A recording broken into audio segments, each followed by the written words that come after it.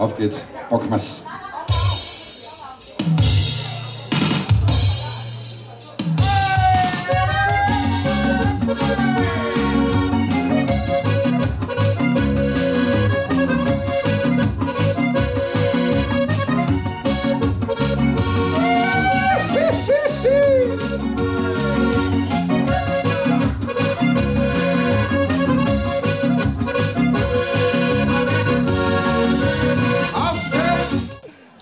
Die Alpenjetes in einer sehr illustren Runde, so viel kann man sagen, auf der Bruckamu-Insel.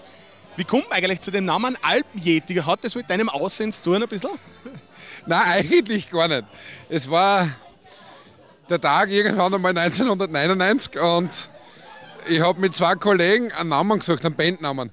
Und irgendwann war vorher vom Reinhard Meser diese Dokumentation im ORF. Und das Schöne war, mit Alpen hat es so viel gegeben. Du kennst sie alle, Alpenrebellen und Alpen Casanovas, die hat es alle schon gegeben damals.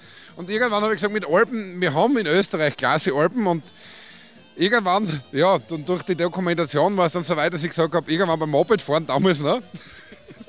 Kaum zu glauben, es ist schon lange her, aber ist mir dann das Yeti geschossen. Alpen Yetis und ja, seit 1999 gibt es eigentlich den Namen Alpen Yetis. Ani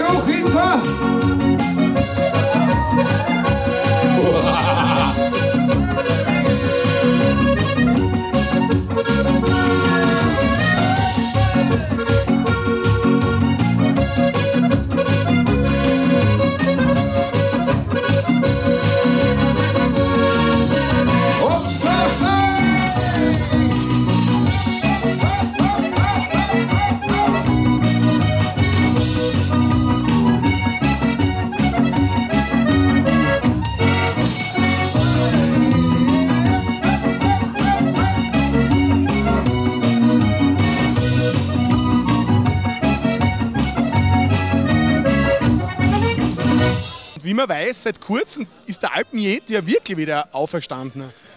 Ja, richtig. Also seit kurzem gibt es den Alpen-Yeti wirklich. Wir haben fünf Jahre eigentlich verhandelt.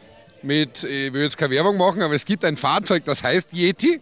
Und 2009 haben die Alpen-Yetis bei solchen Präsentationen gespielt. Und da hat es das Maskottchen wirklich in Original gegeben.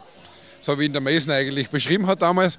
Und ja, wir haben ihn vor 14 Tagen ersteigert. Und jetzt gibt es den Yeti im Original-Maskottchen wirklich fast bei jedem Auftritt mit dabei.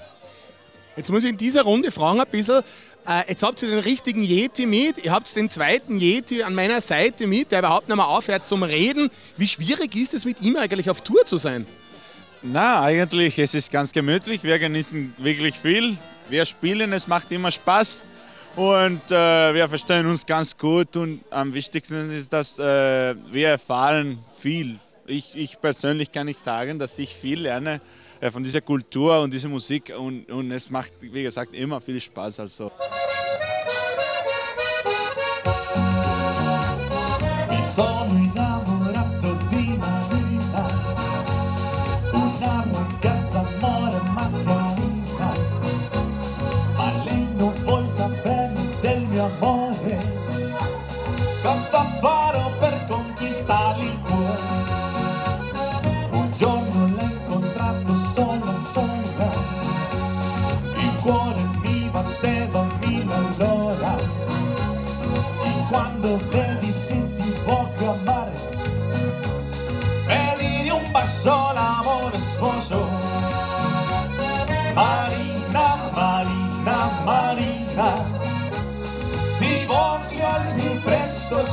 sposare Marina, Marina, Marina ti voglio presto sposare. Oh mia bella no, non mi lasciare, non mi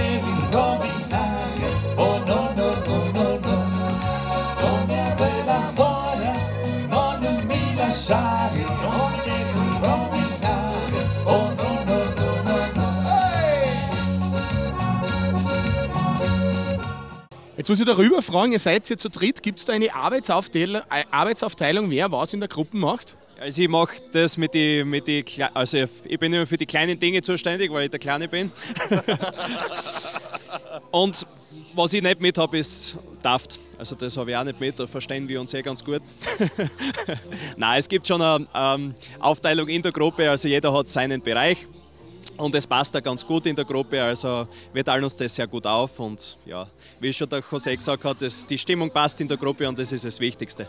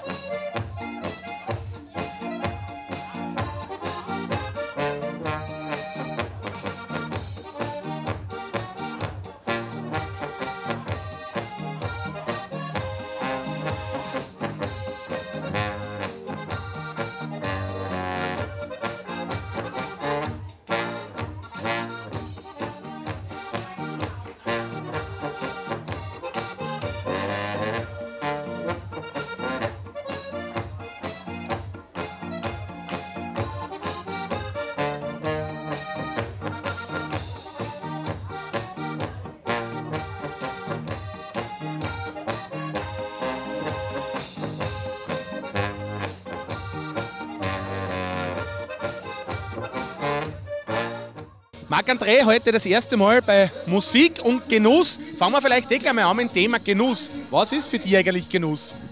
Genuss ist für mich, hier zu sitzen, mit euch gemeinsam zu feiern und ein kurzes Glas Wein zu trinken. Welche Art von Wein?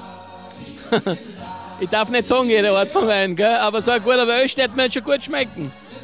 Das schaffen wir auf jeden Fall noch. Jetzt hast du natürlich vom Trinken geredet, wenn wir vom Essen reden, so Brettle aus und bist du für das auch zu begeistern? Wie du weißt, bin ich immer wieder für das Essen zu begeistern und wer mich sehr, sehr gut kennt, der weiß, dass ich da immer dabei bin. Also so ein Brettle außen, so richtig mit Speck und alles, das ist was Besonderes. Ja, für mich sowieso. Ich meine, ich mag das sehr, sehr gern. Ich bin ja auch sehr urig unterwegs. Auch meine Freunde, ich meine, ich habe ja viele Freunde, die was nicht nur Städter sind, sondern auch vom Land kommen und deswegen ist es für mich natürlich immer wieder ein Genuss, mit denen zu feiern und zu essen. So, jetzt dürfen Sie mitklatschen, wenn Sie möchten.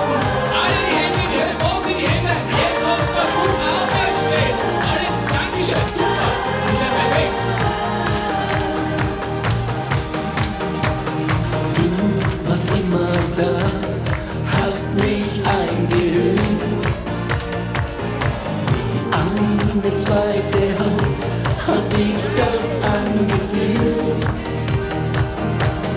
Doch dann kam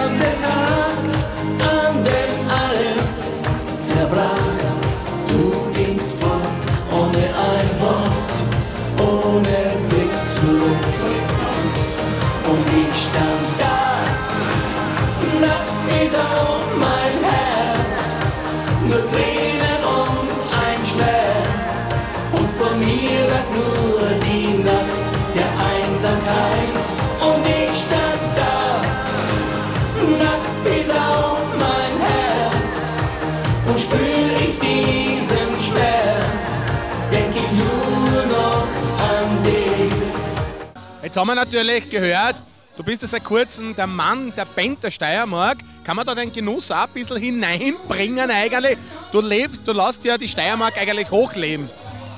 Ja, ich meine, das ist in unserem Sinne, dass wir Steirer müssen ja auch zusammenhalten und dass natürlich das mit der Band für Steiermark so gut funktioniert hat bei unserem ersten Event natürlich. Es war ja nicht sehr, sehr einfach, aber Alex Rehak ist ja nach wie vor auch im Hintergrund immer wieder vertreten und deswegen wird das auch weiter in deine Arme will ich träumen. Du bist wie ein Geschenk, mein lieber Schatz, ich hab dich gern. Dankeschön.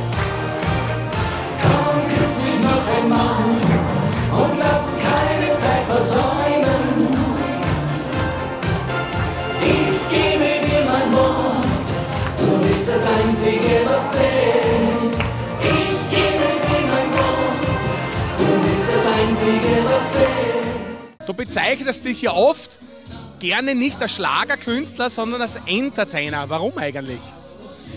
Ja, du weißt ja, ich mache immer ein bisschen Spaß. Ich tue immer ein bisschen mitspaßeln mit den Menschen.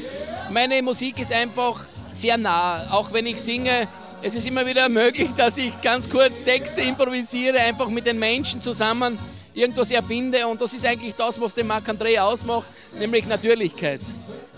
Was ist so in nächster Zeit geplant, was Marc André betrifft? Gibt es wieder mal eine neue CD? Die wird es auf alle Fälle geben. Aber heuer machen wir mal unsere alte CD. Du weißt, im März wurde ja meine erste äh, äh, offizielles, offizielle CD mit Christian Zierhofer geboren. Und die wollen wir jetzt einmal gut vermarkten und wir sind auf dem besten Wege dorthin.